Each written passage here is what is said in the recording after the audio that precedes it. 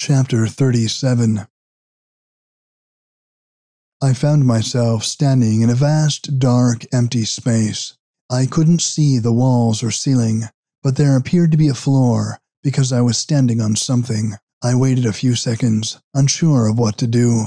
Then, a booming electronic voice echoed through the void. It sounded as if it were being generated by a primitive speech synthesizer, like those used in Q*bert and Gorf.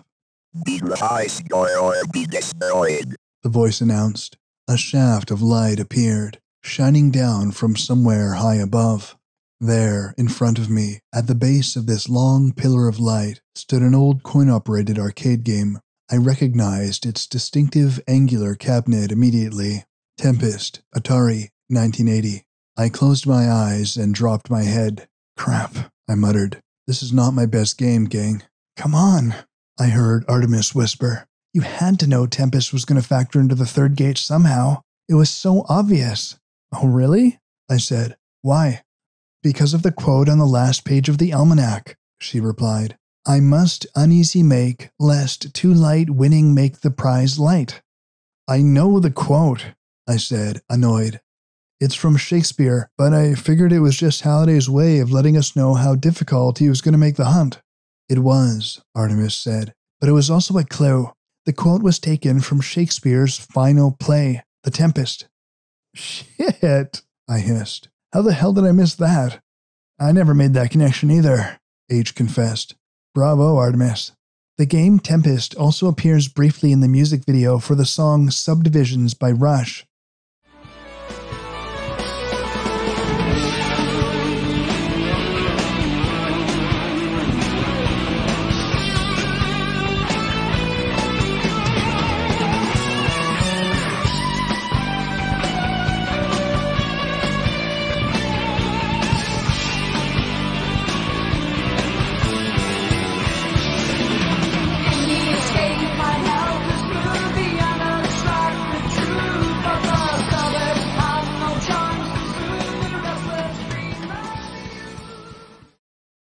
one of Halliday's favorites, pretty hard to miss.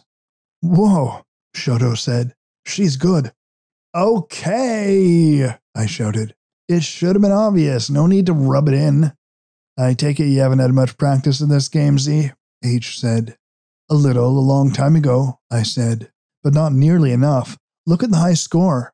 I pointed at the monitor. The high score was 728,329 points. The initials next to it were JDH, James Donovan Halliday, and, as I feared, the credit counter at the bottom of the screen had a numeral 1 in front of it. Oh, yikes, H said. Only one credit, just like Black Tiger. I remembered the now useless extra life quarter in my inventory and took it out, but when I dropped it into the coin slot, it fell right through into the coin return. I reached down to remove it and I saw a sticker on the coin mechanism tokens only. So much for that idea, I said. And I don't see a token machine anywhere around here. Looks like you only get one game, H said. It's all or nothing, Z. Guys, I haven't played Tempest in years, I said. I'm screwed. There's no way I'm going to beat Halliday's high score on my first attempt. You don't have to, Artemis said. Look at the copyright year. I glanced at the bottom of the screen. Copyright MCM LXXX Atari. 1980? H said. How does that help him? Yeah, how does that help me? I said. This means that this is the first version of Tempest, Artemis said. The version that shipped with a bug in the game code. When Tempest first hit the arcades, kids discovered that if you died with a certain score, the machine would give you a bunch of free credits. Oh, I said, somewhat ashamed. I didn't know that. You would if you researched the game as much as I did, Artemis said. Damn, girl, H said. You got some serious knowledge. Thanks, she said. It helps to be an obsessive compulsive geek with no life. Everyone laughed at that except me. I was much too nervous. Okay, Artie, I said. What do I need to do to get these free games? I'm looking it up in my quest journal right now, she said. I could hear paper rustling it sounded like she was flipping through the pages of an actual book. You just happen to have a hard copy of your journal with you? I asked. I've always kept my journal longhand in spiral notebooks, she said. Good thing, too, since my Oasis account and everything in it was just erased. More flipping of pages. Here it is. First, you need to rack up over 180,000 points. Once you've done that, make sure you end the game with a score where the last two digits are 0, 6, 11, or 12. If you do that, you'll get 40 free credits. You're absolutely positive? Positively, absolutely. Okay, here goes, I said. I began to run through my pre-game ritual, stretching, cracking my knuckles, rolling my head and neck left and right. Christ, will you get on with it?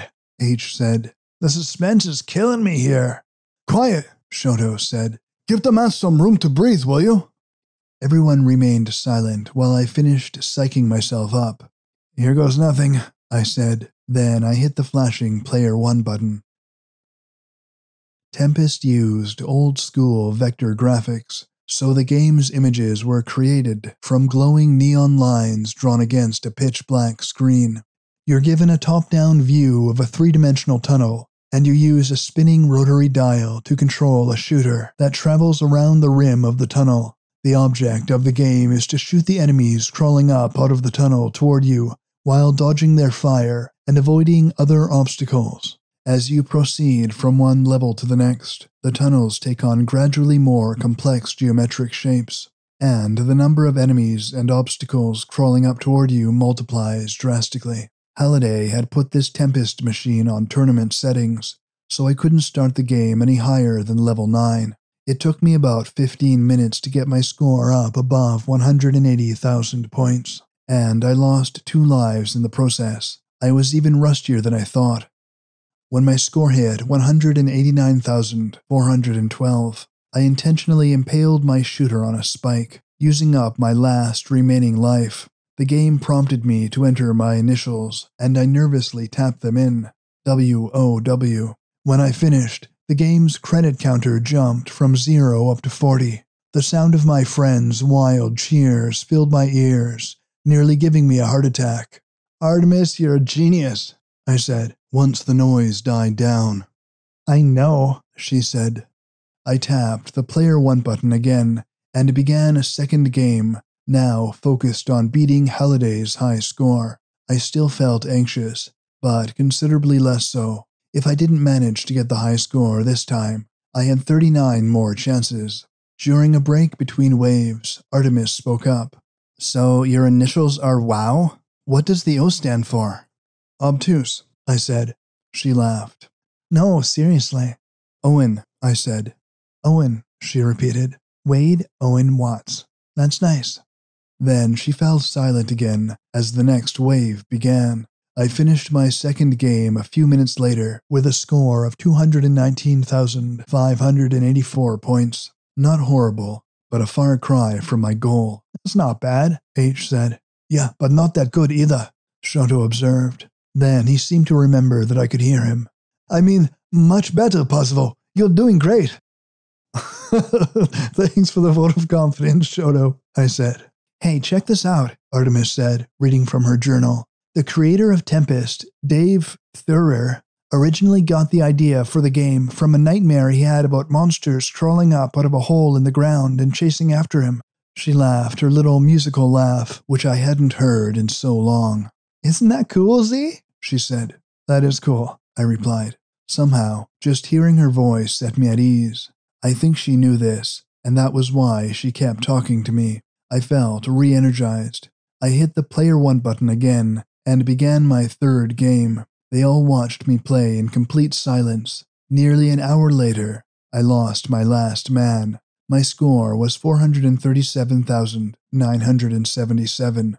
As soon as the game ended, H's voice cut in. Bad news, amigo, she said. What? We were right.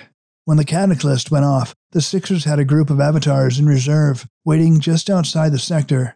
Right after the detonation, they re entered the sector and headed straight for Chthonia. They. Her voice trailed off. They what? They just entered the gate about five minutes ago, Artemis answered. The gate closed after you went in, but when the Sixers arrived, they used three of their own keys to reopen it. Y- you mean the Sixers are already inside the gate right now?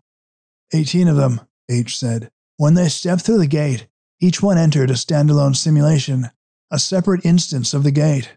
All 18 of them are playing Tempest right now, just like you, trying to beat Halliday's high score. And all 18 of them used the exploit to get 40 free credits. Most of them aren't doing that well, but one of them has some serious skill. We think Sorrento is probably operating that avatar. He just started his second game. Wait a second, I interrupted. How can you possibly know all this? Because we can see them, Shoto said. Everyone logged into the Oasis right now can see them. They can see you too. What the hell are you talking about? The moment someone enters the third gate, a live vid feed of their avatar appears at the top of the scoreboard, Artemis said. Apparently, Halliday wanted clearing the final gate to be a spectator sport. Wait, I said. You mean to tell me that the entire world has been watching me play Tempest for the past hour? Correct, Artemis said. And they're watching you stand there and jabber back at us right now, too. So watch what you say. Why didn't you guys, why didn't you guys tell me? I shouted. Uh, uh, well, we didn't want to make you nervous, Z, H said, or distract you. Oh, oh, great, perfect, thank you. I was shouting, somewhat hysterically.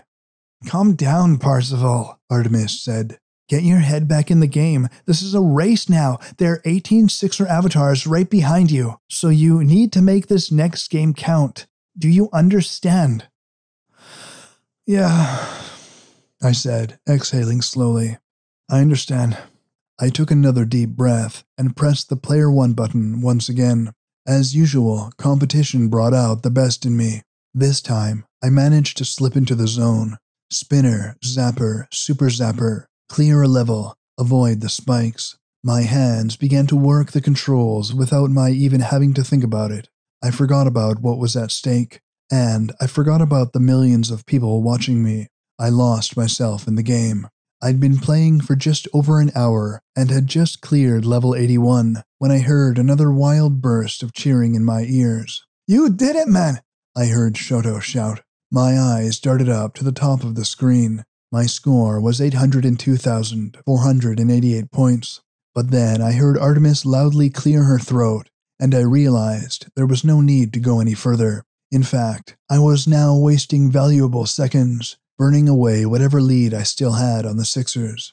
I quickly depleted my two extra lives, and game over flashed on the screen. I entered my initials again, and they appeared at the top of the list, just above Halliday's high score. Then the monitor went blank, and a message appeared in the center of the screen. Well done, Parzival. Prepare for stage two. Then the game cabinet vanished, and my avatar vanished with it. I found myself galloping across a fog covered hillside. I assumed I was riding a horse because I was bobbing up and down, and I heard the sound of hoofbeats. Directly ahead, a familiar looking castle had just appeared out of the fog. But when I looked down at my avatar's body, I saw that I wasn't riding a horse at all. I was walking on the ground. My avatar was now dressed in a suit of chainmail armor, and my hands were held out in front of my body as though I were clutching a set of reins. But I wasn't holding anything. My hands were completely empty. I stopped moving forward, and the sound of hoofbeats also ceased. But not until a few seconds later, I turned around and saw the source of the sound. It wasn't a horse. It was a man banging two coconut halves together. Then I knew where I was, inside the first scene of Monty Python and the Holy Grail, another of Halliday's favorite films, and perhaps the most beloved geek film of all time. It appeared to be another flick sync, like the War Games simulation inside Gate 1. I was playing King Arthur, I realized. I wore the same costume Graham Chapman had worn in the film, and the man with the coconuts was my trusty manservant, Patsy, as played by Terry Gilliam. Patsy bowed and groveled a bit when I turned to face him, but said nothing. It's Python's holy grail, I heard Shoto whisper excitedly. Duh, I said, forgetting myself for a second. I know that, Shoto. A warning flashed on my display. Incorrect dialogue. A score of negative 100 points appeared in the corner of my display. Smooth move, Ex-Lax, I heard Artemis say. Just let us know if you need any help, Z, H said. Wave your hand or something and we'll feed you the next line. I nodded and gave a thumbs up, but I didn't think I was going to need much help. Over the past six years, I'd watched Holy Grail exactly 157 times. I knew every word by heart. I glanced back up at the castle ahead of me, already aware of what was waiting for me there. I began to gallop again, holding my invisible reins as I pretended to ride forward. Once again, Patsy began to bang his coconut halves together, galloping along behind me. When we reached the entrance of the castle, I pulled back on my reins and brought my steed to a halt. Whoa there! I shouted. My score increased by a hundred points, bringing it back up to zero. On cue, two soldiers appeared up above, leaning over the castle wall. Who goes there? One of them shouted down at us.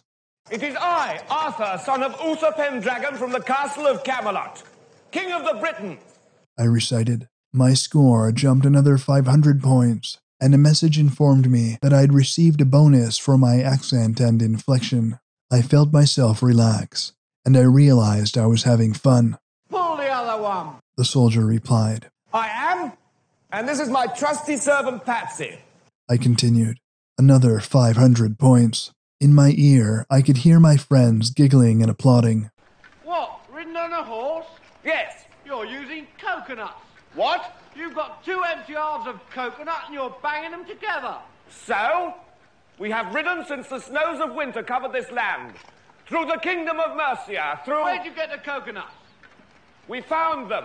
Another 500 points. Found them? In Mercia, the coconut's tropical. What do you mean? Well, this is a temperate zone. The swallow may fly south with the sun, or the house martin or the plover may seek warmer climes in winter, yet these are not strangers to our land. Are you suggesting coconuts migrate? Not at all. They could be carried. What? A swallow carrying a coconut? It could grip it by the husk. It's not a question of where he grips it. It's a simple question of weight ratios. A five ounce bird could not carry a one pound coconut. Well, it doesn't matter. Will you go and tell your master that Arthur from the court of Camelot is here? And so it went. The character I was playing changed from one scene to the next, switching to whomever had the most dialogue. Incredibly, I flubbed only six or seven lines. Each time I got stumped, all I had to do was shrug and hold out my hands, palms up, my signal that I needed some help. And H, Artemis, and Shoto would all gleefully feed me the correct line. The rest of the time, they remained silent, except for the occasional giggle fit or burst of laughter. The only really difficult part was not laughing myself, especially when Artemis started doing note perfect recitations of all of Carol Cleveland's lines in the Castle Anthrax scene. Wicked, bad, naughty, evil Zoot! Oh, she is a bad person and must pay the penalty. And here in Castle Anthrax, we have but one punishment for setting alight the grail shaped beacon. You must tie her down on a bed and spank her. You must spank her well, and after you have spanked her, you may deal with her as you like, and then spank me. And spank me? And me? And me? Yes, yes, you must give us all a good spanking. And after the spanking, the oral sex. Well, I could stay a bit longer. Take out. Oh, hello. Quick! What? Quick! Why? You're in great peril. No, he isn't. I cracked up a few times and got hit with score penalties for it. Otherwise, it was smooth sailing. Reenacting the film wasn't just easy, it was a total blast. About halfway through the movie, right after my confrontation with the Knights of Ni, I opened up a text window on my display and typed, Status on the Sixers? Fifteen of them are still playing Tempest, I heard H reply. But three of them beat Halliday's score and are now inside the Grail simulation. A brief pause. And the leader, Sorrento, we think, is running just nine minutes behind you. And so far, he hasn't missed a single line of dialogue, Shoto added. I nearly cursed out loud, then caught myself and typed, Shit. Exactly, Artemis said. I took a deep breath and returned my attention to the next scene the tale of Sir Launcelot. H continued to give me updates on the Sixers whenever I asked for them. When I reached the film's final scene, the assault on the French castle, I grew anxious again, wondering what would happen next. The first gate had required me to reenact a movie, War Games, and the second gate had contained a video game challenge, Black Tiger. So far, the third gate had contained both. I knew there must be a third stage, but I had no idea what it might be. I got my answer a few minutes later. As soon as I completed Holy Grail's final scene, my display went black while the silly organ music that ends the film played for a few minutes. When the music stopped, the following appeared on my display Congratulations, you have reached the end. Ready, player one. And then, as the text faded away, I found myself standing in a huge oak paneled room as big as a warehouse, with a high vaulted ceiling and a polished hardwood floor. The room had no windows and only one exit, large double doors set into one of the four bare walls. An older high end Oasis immersion rig stood in the absolute center of the expansive room.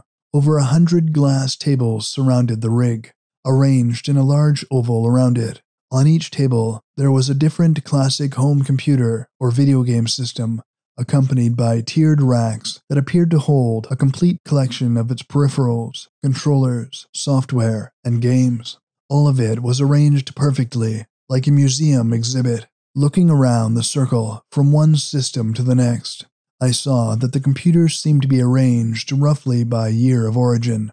A PDP 1, an Altair 88, an IMSAI 8080, an Apple I right next to an Apple II, an Atari 2600, a Commodore PET, an Intellivision, several different TRS 80 models, an Atari 400 and 800, a ColecoVision, a TI 994, a Sinclair ZX80, a Commodore 64, various Nintendo and Sega game systems, the entire lineage of Macs and PCs, PlayStations, and Xboxes. Finally, completing the circle was an Oasis console connected to the immersion rig in the center of the room. I realized that I was standing in a recreation of James Halliday's office, the room in his mansion where he'd spent most of the last 15 years of his life, the place where he'd coded his last and greatest game, the one I was now playing. I'd never seen any photos of this room, but its layout and contents had been described in great detail by the movers hired to clear the place out after Halliday's death. I looked down at my avatar and saw that I no longer appeared as one of the Monty Python knights. I was Parzival once again. First, I did the obvious and tried the exit. The doors wouldn't budge. I turned back and took another long look around the room, surveying the long line of monuments to the history of computing and video games. That was when I realized that the oval shaped ring in which they were arranged actually formed the outline of an egg. In my head, I recited the words of Halliday's first riddle, the one in Anorak's invitation. Three keys hidden open three gates, wherein the errant will be tested for worthy traits, and those with the skill to survive these straits will reach the end where the prize awaits. I'd reached the end. This was it. Halliday's Easter egg must be hidden somewhere in this room.